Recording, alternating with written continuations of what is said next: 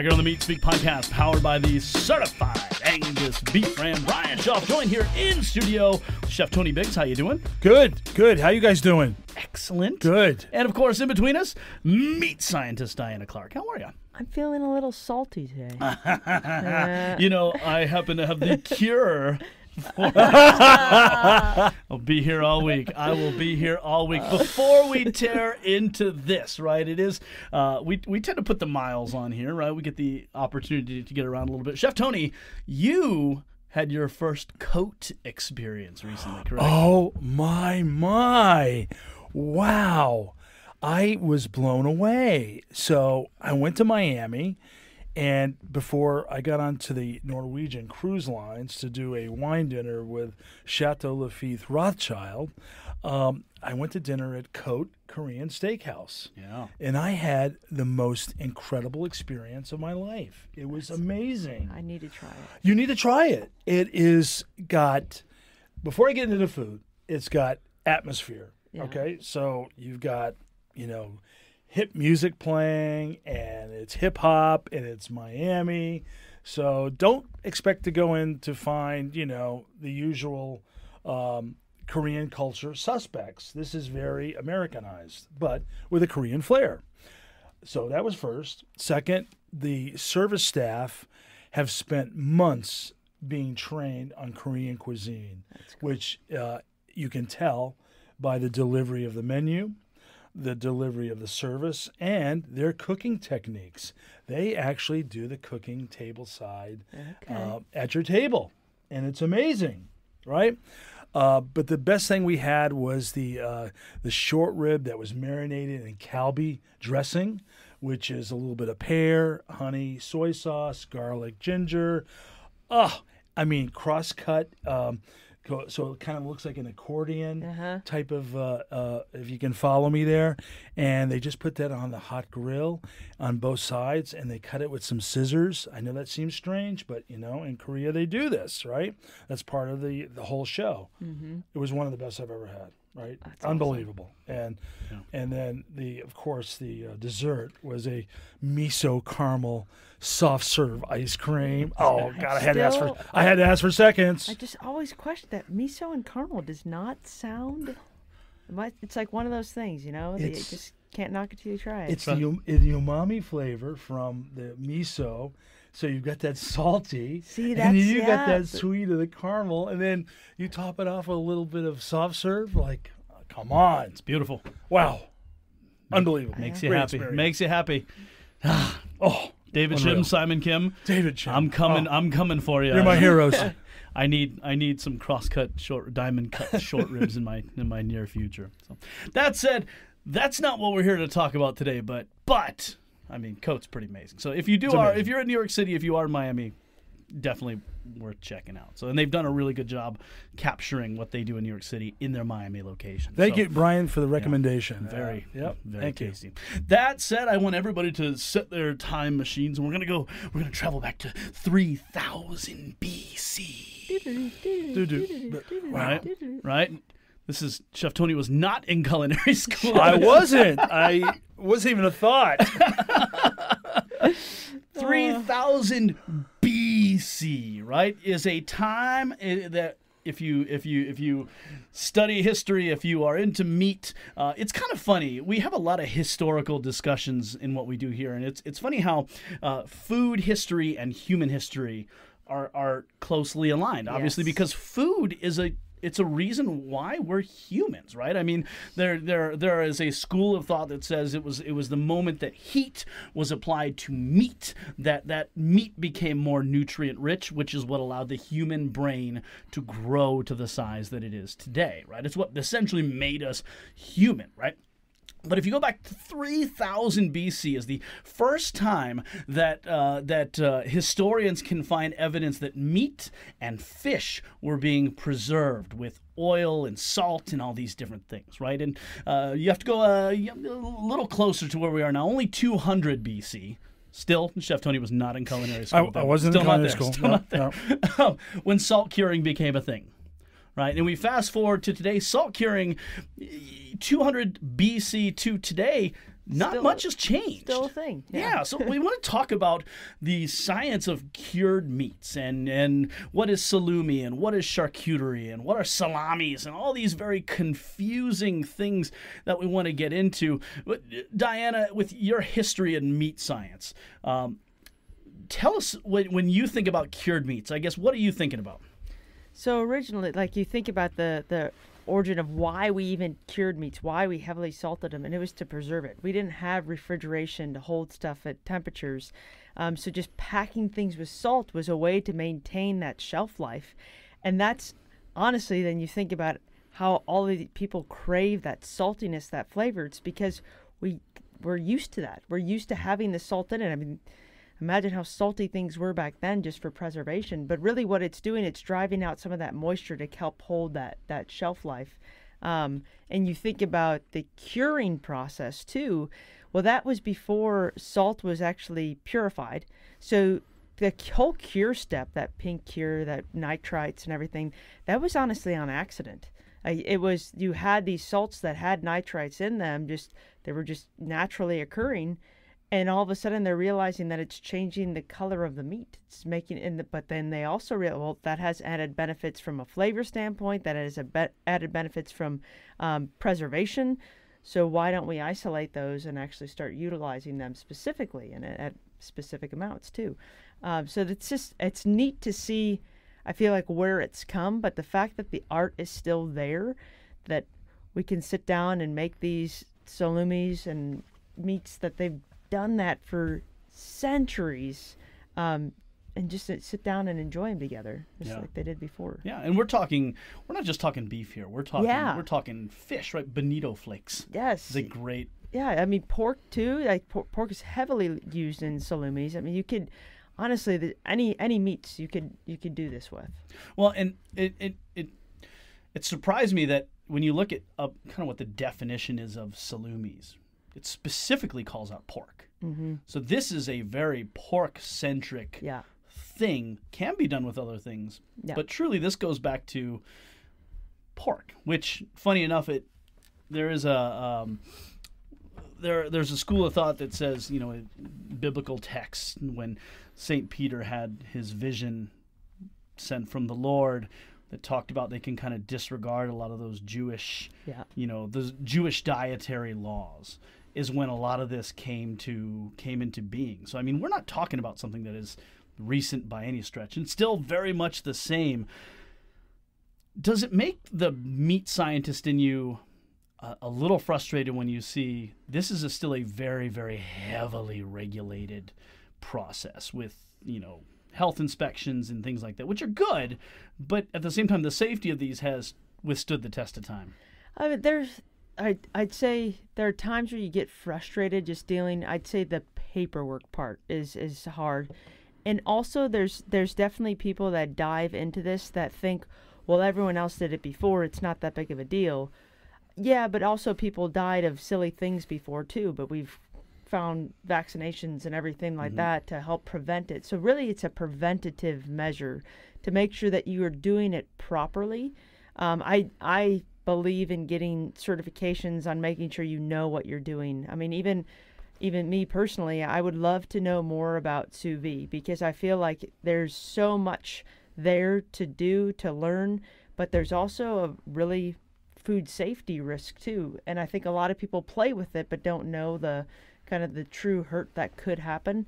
So I don't mind the regulation on it. Um, the headache of the regulation afterwards, the minute you start doing things, you have to make sure you're signing off on everything. You have the SOPs and all that. And I get it's it's annoying, but at the same time, it's for the betterment of you, for the betterment of whoever's going to eat that meat too. Yeah. Well, you know, I- I think about a conversation that uh, a gentleman named Justin Sexton, who used to who used to work for. So Justin is one of those guys who is so incredibly intelligent. So like I can't imagine like digging like digging through his knowledge base. And we were talking about uh, you know they would hang whole ham legs, right? Yes. Something that they, has been done for centuries, right? If not longer. Still done, yeah. And historically, he, he said that they would intentionally hang the ham. It would go next to the timothy, which is a type of alfalfa, instead of, well, uh, which is a type of hay, instead of alfalfa. And no explanation as to why, but there is some leaching of flavor, I assume. I'm guessing between there. Like uh, you think about certain processes that are just done, and they realize, well, if we add the salt here, that's going to pull out some moisture here, some different flavoring. Oh, I really like that. Well, what did you do differently? And the amazing part is it had to take so long to for those to cure and dry out and everything. So it they really had to pay attention to the details. I like I, I think a lot of people always think it's a happy accident and there might have been some of that, but I could more see it being, wow, that has a really funky flavor. Oh, well, that's because this was near it. Let's, why don't we try putting this near to see if we could pick up some of these flavors and aromas into that, and started to play. And that's that's where that culinary side, that art came into it. Um, it's it's beautiful. I mean, me just stopping and thinking about this, I was able to tour Volpi Foods, uh, based out of St. Louis it is one of the most magical experiences and they are so willing and welcome to people um, sharing of recipes even and everything but they have these chambers still with with wood in them where they hang all of the bresaola and it, like you walk in there and you just think of how much meat has been hanging in here for years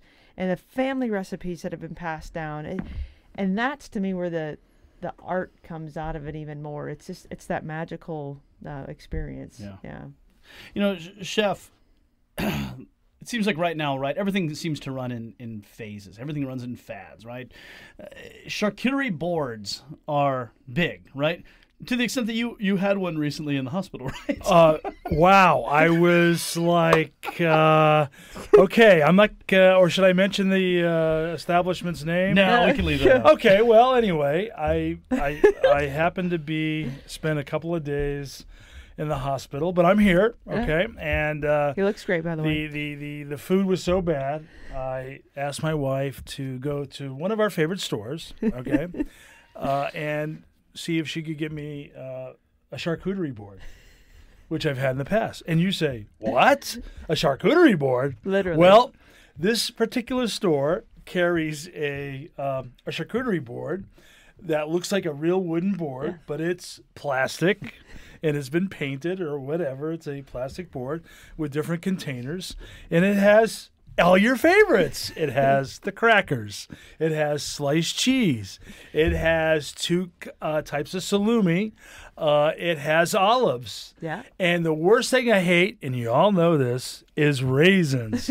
but they were chocolate covered, and they tasted pretty acceptable. Uh-huh. And this was brought to me at, at the hospital bed, and uh, you know, all the nurses wanted a piece of me because they uh, they couldn't believe that somebody could make this charcuterie board, and uh, for nine dollars, I mean, you can't really beat it. No, it's a great right? deal. It's amazing. pull back bring back I was blown away. Right, all I needed was a little bit of French wine, and I was all set. But they wouldn't do it.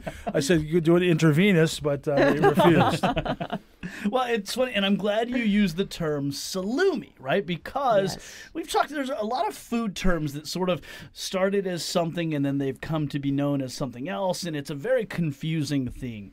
And we tend to use the word salumi and charcuterie interchangeably, but that's not true, right, Dana? Yeah, that charcuterie from if I um, if I'm correct is cooked and cooled sausages. So you think about lunch meats. Uh, that that was more of your charcuterie boards, and even I could easily see that from a lunch standpoint. Uh, you th- people having a lot of times you have platters of lunch meat, and so that's more what people were thinking about making little sandwiches with crackers and cheese, and you put some toppings on there, and you're good to go.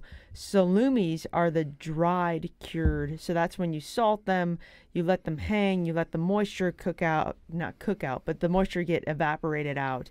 Um, so that's the difference between the two of those. So all the things that we make in house uh, in our dry age cooler, those would truly be salumis and not charcuterie items. However, they can be put on a charcuterie board.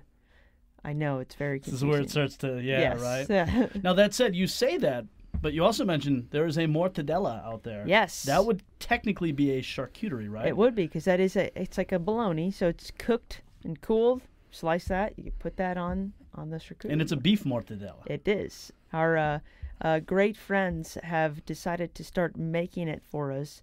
Um, Sierra Meats, uh, they own uh, Flokini, Flokini Provisions, and Flokini is making some mortadella, uh, certifying as beef mortadella. Boom. And it's pretty fantastic. They actually have the brisket fat chunks in there as well. Yeah. Okay. So you know, first, uh, quick, quick disclaimer here, right? So understand, like, if you want to get this, right, this is, this is beef, uh, mortadella, made with certified Angus beef that's being made. So if you're in the industry, you can order this stuff Yes. from Flokini. It's out there, Yes. and it's delicious. It's, It's Very delicious. good. Yeah. Very but, good. But, but you mentioned brisket, chunks of brisket fat in there. When we are talking about a lot of these classical um, yes. pig, right, or hog recipes of, of salumis, right? And you look at, um, you know, your coppas and things like that. That's those are made with hogs, right? Yep. That's made with pork. You, when you try and replicate that in beef, you go with brisket fat. Yeah, and that's that's it. Like so, you start to think about certain salumis in in pork specifically that they use whole muscle, and we struggle with that a little bit more in beef because the fat is different. So fat in pork is more unsaturated. Um, so it's it's a softer fat, uh, melts at lower temperature. Beef fat is more saturated in general. Now brisket fat though is the most unsaturated fat in the in the animal when you start to look at it from a subprimal standpoint. The other cool part is the more marbling, and if you guys go back to the episode uh, that we had in season two with Dr. Steve Smith from Texas A&M University, but the more marbling that that animal puts down, the more unsaturated fatty acids are going to be found throughout the entire carcass. So you have more higher amounts of that oleic fatty acid throughout the entire carcass. Um, so certified Angus beef animals are going to have more of that softer fat in general, just due to the marbling that they have in the animal itself. Um, but we try to utilize still more of that brisket fat because it has the most amount of that oleic acid on the animal, and then that's that softer fat that blends well, better mouthfeel when you're not cooking it, so it's not going to um, uh, render out or anything like that. It's still those whole chunks that you're eating, so you want to have a smooth bite with it. Yeah. You know, Chef Tony, when we talk about beef alternatives to things that are classically made with, with pork, right? Your uh, your prosciutto made Yeah. now with brisket, initially made with culotte, is ridiculously mind blowing. Ta talk to us about that process. Well, okay. Um, well, as everybody knows, the uh, prosciutto uh, is an Italian uh, leg of lamb or uh, pork, which has been um, cured in salt 1st That um, that gets rid of all the blood and the moisture um, in the the leg, um, and then that's washed, and then it's uh, seasoned. And each family has their own special seasoning. It's always secret, and you can never get it out of them and uh, then it's hung for about uh, 36 months, you know, uh, until it's, it's dry cured, right? So, so being a tra- uh, a, a classically trained chef, uh, I've done gravlax over the years, which, you know, of course, is salmon usually, and we pack that in salt and sugar uh, to kind of cure it, right? But salmon is so you know delicate, uh, it cures in a couple of days, right? So we took that same process where we use um, uh, kosher salt and sugar 50 50. Uh, and we mix that together with uh, some different types of ground fruits like pear, apple, orange, um, you know, any kind of you know dry, fruits like that, and we just grind them up. So it's not brain surgery. We're not julienne. We put them in the grinder and we mix that with the salt and sugar, along with some toasted spices. So cinnamon stick, cardamom, uh, star anise, black peppercorns. Grind those up, and we mix that all together, you know, evenly. And then we take the brisket and we took the point off. Uh, we jacquarded. So jacquarded is a way of tenderizing uh, on both sides. So what you're doing is you're getting, you know, you're you want to make sure all the salt and sugar and all your spices get through through the brisket. We originally did this with the culotte, which we called culox. Oh, like what that. a cool name, right? Yes. And it was brilliant too. It but there was. was a lot of more shrinkage uh, than we wanted, right? So um, what we do with the brisket now is we take that and uh, we wrap that in cheesecloth, and then um, we we put that in a Lexan pan, which is a Lexan pan is a, a very very industrial plastic pan which you can see through, and we we just submerge this brisket uh, in the salt and sugar mix for 35 days, totally submerged. So no air bubbles, no nothing, no no exposure to. Oh, I'm sorry, I left one thing out. So we have the pink salt. Okay. So we put about three ounces of the pink salt in there, and that gives it the color. You were talking about the color originally, uh, and that gives it the color of the beef. It doesn't turn gray uh, when it comes out of the brine. Now it's you've got this reddish color that looks beautiful, right? Like a like a prosciutto, right?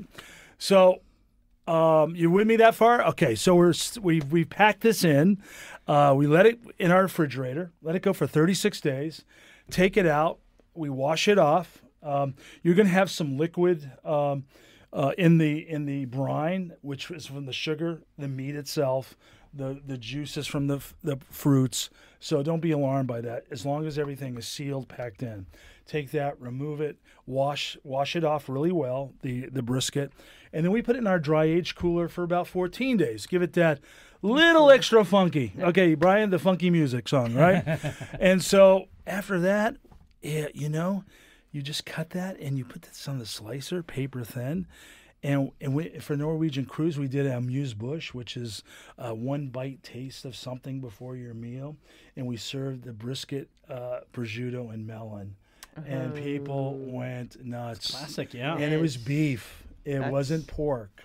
And that's what we do here at Certified Angus Beef, along with you, Diana. Uh, unbelievable, and we create some magical stuff. And so this was pretty magical. Yeah. and that's like the the fruitiness in it i think blew my mind because Mm-hmm. i i really was i'm like is it are we really gonna taste any of that like is that just extra do we really need to add that you take a bite you could you could Yeah. taste the fruity notes in it it was pretty awesome Yeah, it's it's pretty mind blowing. And the fat. Yeah. So when you when Brian was talking about the brisket fat, and Yes. you were too. That fat melts on your It mouth, just like it would on a prosciutto ham, right? does. So when you taste the prosciutto ham on your charcuterie board from that store that I was talking about before, the mel- the prosciutto melts right on your tongue, and that's the way it should be. It should melt, and so this brisket fat did the same Uh, it's almost like stained glass, right? It just- the moment it hits your warm, it just it just Right. starts Yeah. to sing a little bit Oh, yeah. You know, Tony, you'd you'd mentioned Diane, you've mentioned it already. Nitrates, nitrites, right? Yes. Gets thrown under the bus a lot. yes Do we have to be afraid of this? No, not at all. Uh, it- that they're there in industry for a reason, uh, to help maintain shelf life, to help give you good color, to stop warmed over flavor, um, and they're highly regulated. I mean, truly, uh, when I worked at uh, Sara Lee, which they um, now owned by Tyson, but Hillshire Farm, um, we worked on lunch meats. The nitrites were under lock and key. I mean, to to that extent, you had to weigh it out exactly the amount that you're putting in. I always people that are concerned about nitrates. Okay, let's look at every Fourth of July. There's a national hot dog eating contest. Do any of them even come close to any type of nitrite overeating, poison, or anything? No, and they're eating many, many, many hot dogs. So What's I- a record? What's a record of I, that? I don't even remember. Like it's it blows my Joey mind. Chestnut, I think it was in the 60s. That's what I knew it was like think. 60 to 70, somewhere like that to me is insane. But still, like the, if if they don't have anything to worry about, I think we are all in the clear. And the just to to clarify, um, I do understand just from a, a, labeling standpoint of having that clean label and not having the nitrite on the package. It says no nitrites added or natural occurring nitrites. Now, just because there's none added doesn't mean that they're not adding celery powder or something that has those naturally occurring nitrates in them to create the same exact reaction. Um, it just is sounds better to the consumer, which I understand because it can be a little bit scary. I mean, you hear you hear different things by who knows what, and so it's sometimes hard to digest. No, no pun intended. Um, but there's a there's a lot of science behind it to make sure that it's not going to harm you whatsoever, and it's been utilized for thousands and thousands of years. Uh, it just was naturally occurring in, in sea salts, and then we started to figure out exactly what it is, and we started adding it back into the salumis itself, sausages, and all that. Yeah. So you, you heard it here. All clear on, on Nitrates are You're all you're all good. You're all good. You know, one of the things that we talked about uh, a couple weeks ago, actually, with our, our pal Jeremy Umansky in the episode, we were up at Larder talking about a lot of what they do, and of course, when you can't you can't really talk about Jeremy Umansky without talking about Koji Mold, and he does a, a two week Bresaola. Um, which we've actually ma- we make Bresaola here as well. Mm-hmm. Eating it side by side because his is inoculated with koji, which is kind of an aging accelerant, and a traditionally made Bresaola versus a two week. They were fairly indistinguishable. But talk to us about Bresaola. This is a beef charcuterie or beef salumi, right? And that to me, this is like the gateway drug into into salumis. Like if you start doing this, then you're gonna want to do other things. It's the easiest one to do. So this is this is what we do for ours. Um, we take eye around, trim it down completely. Yeah, you remove any any silver skin or membranes that you'll see. Just completely trim it down. Greatest part, eye around, is not an expensive cut. When you're working with certified Angus beef too, you get great marbling within that cut. Um, so that's key, just to have some of that that flavor added. But we just add uh, salt, sugar, juniper berries, and cure, and we let it sit in that for roughly 14 days, two weeks. To really, the goal is having that salt penetrate all the way down through to the center, because you want to cure the meat all the way through. Otherwise, you're going to have weird brown gray spots in the middle. Um, which you don't want. You want to have that bright red all the way through. And that's what the nitrite's doing. It's making that bright red color. It's locking in the color of the meat using uh, myoglobin um, with it. That's kind of what what is actually occurring. Um, but from there, pull it out. We rinse it all off, and we put it in a beef bung, which is essentially the appendix of the beef animal. Stuff it into that. Uh, we tie it up, and we do inoculate ours uh, with Penicillium nalgiovense, which is a mold that you can buy on sausagemaker.com. Bactoferm Mold 600, um, just to promote any that healthy mold growth. We know the right mold on there, and we let it hang for about six months. Uh, so then, that's really all you have to do. It's really there's, it's honestly not that much work. It's more just sitting around waiting. We have some that are uh, about to hit their prime here soon. So I know. And that that that mold uh, is that a necessary step or that's just a little extra something something we It's do? yeah, we just you don't have to do it. In fact, on this last batch, I um, forgot to add it on there, and so hopefully, if your cooler is growing well enough that you you shouldn't need it. Uh, but if you're starting a new cooler, that is a great. Actually, we've had quite a few people do that where they'll buy the mold, you just dilute it, and uh, you bring kind of bring it to life almost out of the freezer. Um, let it sit in some um, deionized water, and then you add that back to a liter of water. You can actually put it in a spray bottle and spray down your whole cooler with it. So Inst- it just instant can- mold growth. yeah, it's going to be the right mold growth, one Yeah. that's been utilized within industry for many years. Um, so it's just yeah, there's a lot of knowledge behind And, it. and and mold does two things, right? It, it there's a little bit of flavor that it adds, but it also prevents. It's good mold. Good molds prevent bad molds. Yeah, right? they're competing. They're, you're going to have a mold grow, Mhm. so it's you might as well have one Make- that you know and be Make- good mold. Yeah, make sure it's a good, safe one. Yes. Excellent, excellent. All right, let's talk about um, why you, don't see a lot of um, ground beef charcuterie or beef salumi items out there on the market. Yeah, there's not a lot of science behind it, and that's really the main reason why you have a lot of validi- validi- validity. There we go. Validity studies within pork um, that have shown. Okay, basically they look at if we inoculate this with this bacteria, can it can it decrease it? Can it stop it? Can it inhibit growth? And so they've looked at all of those, um, and they've gotten past. They haven't done that with beef in the model. Um, there are some companies that do a 50-50 of pork and beef, and they have done some personal studies themselves uh, through different universities to get that uh, published, and so they're good to go, and they have that those documents. Um, but from an all beef standpoint, there's really not one. We started working with the USDA on one in uh, 2016, but uh, they have priorities, and that fell short on the list. So I don't know where uh, where we're at there. Um, if someone's listening from there, that'd be great to pick back up. Right. But it, Give me a call. yes.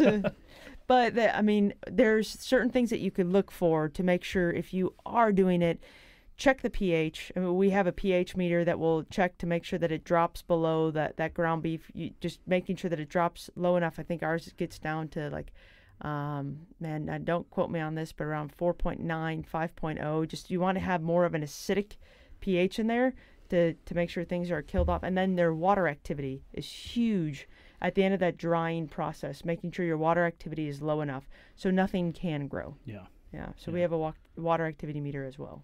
Excellent. Uh, you know, I got, I got, I would be remiss if I, if I didn't bring it up talking about this stuff. One of my favorite beef-centric salumis is, you know, of course, lardo. Lardo is typically pork fat, right? And it's just, it's, it's fat, right? And then it's sliced, Sliced. and you put it on your tongue, and you've just basically eaten a, a piece of fat. Um, now it's been cured and hung, um, but again, our boys up at Larder were harvesting when they were doing briskets for their pastrami. They would save the fat trim, and they would similarly hang it, you know, cure it, hang it, and uh, they called it pseudo because it's beef it. suet and it's like lardo, so they called it pseudo. It was hung brisket fat, and it was just. You know the they, they used to have those like uh like Listerine had like, the flavor strips that you put on your tongue and it would just melt away and all of a sudden it's, it was just like that where this beautiful little thinly sliced bit of brisket fat just it just I just mixes like in. It's fantastic. It's fantastic. Excellent, uh, guys. Anything that uh, that we wanted that we've missed about the world of charcuterie? The biggest thing, chef, when I think about in restaurants, this is not cheap. If you're going to have this on your menu and you're not making it in house, and I understand there are a lot of reasons why you wouldn't make it in house. This is this is a, a it's a pretty expensive thing to stock, right? It is. Um, and what I've noticed uh, about, I, I think there's been a, a huge outpour for charcuterie boards. I, I, I know my daughter is into it, and you know when she has guests over, she'll Yeah. she'll spend a lot of money, like as Bryan is saying, and, and she'll build this masterpiece. Maybe it's because her father's a chef. I don't know. I'm just guessing. Runs but, in her blood. Oh my gosh, she's got you know the things that really accompany a really nice charcuterie board, like you know fresh fruit Mm-hmm. and and a fig jam and some breadsticks and cheese and all different types of stuff that can run you some some big bucks here. there's there's companies now. So we actually the one of the people that we worked with for uh, at the hotel for our, our wedding, she spun off from from that industry, and now sh- that's what she does is make charcuterie boards for people. Like she delivers them to their house for occasions, and they're gorgeous, gorgeous, giant boards. But that's all she does. She'll just go and buy meat, slice it, put it together, and it Well, I wonder if she's the one that made the one I had in the hospital. I mean, oh my gosh! You see, all right, now there you go. And now it's become so popular in this store that you cannot find them. seriously. You cannot find them anymore. so when you go, you go, "Where's the charcuterie board?" Right, and also the chocolate lava cake they're always out of. Uh, so you know which store I'm talking about, fans out there, right? But that is becoming a real fad. If you go on any of these uh, social platforms, you see, I, you can find. Uh, Beautiful charcuterie boards all over the place, and I think people just love it. It's delicious. You've got sweet, salty. Yes, you've got, you've got, you know, you could just pick through that the whole. I, I, I find myself having to slap my own hand because uh, I just eat the whole thing. You and know? honestly, it's like it's not bad for you. Like I Right. think it's Yeah. good compliment. it's it- the yeah. Mediterranean diet Yeah. if you think about Yes, it, right? Cheese, right. gr- uh, grapes, uh, you know, beautiful pork items, and now we're, we're exploring beef now. Yes, And we have a lot of nice beef things out there from certified Angus beef. I agree with that one. Amen. You know, the one thing that I had not brought up yet, and shame on me because I've eaten enough of them since they've opened. There's a restaurant uh, not far from here, actually, called Heart of Gold in Cleveland, right? Um, and one of the things they have, uh, it's a, it's like a quick service where you walk up, you order at the cash register, and then you have a seat, and they bring your food to you. But they've got a cooler, and you can pull this out, and it is a it's a homemade Lunchables kit I love it. and that they make in house. They shrink wrap it themselves, but it's uh, you know the the meats they are curing themselves. The the cheeses are you know very very special. All their house made pickles that they make right there in it. It even has like a little like pseudo Ritz cracker. That is that's awesome. fantastic. Well, that's a good idea. And it's great. And it's like twelve bucks, and it's like you go in and you get one of these and just like grab a beer and like See, that makes sense to me. yeah I sit when I was a kid, like I thought Lunchables were the coolest thing ever. yeah And now being a parent, every time I think I'm like, oh, that'd be so much fun. I'm like, I can make that in two seconds at home. It's literally Right. bologna and Ritz crackers. It's like, what? Why have I? I blew my mind when I realized that one, right?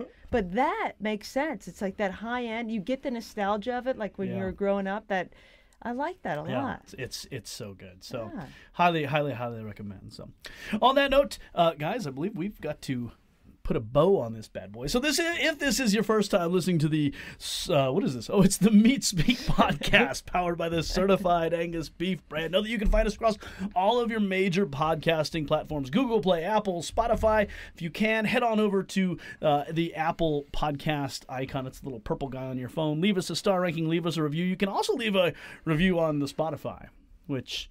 I don't play a whole lot on Spotify, but I know it's out there. Yeah, It's a I- thing, right? Yeah. So if you could help us out, it helps with our overall uh, visibility and and uh, honestly, it just helps us be seen a little bit more. So a lot of this content that that we are putting out there is, is more widely available to the masses. So until next time, Chef Tony Biggs, meat scientist Diana Clark. Thanks for uh, coming into the studio, guys. I've missed y'all. I missed you. So good, so good being back. So until next time, thank y'all for listening.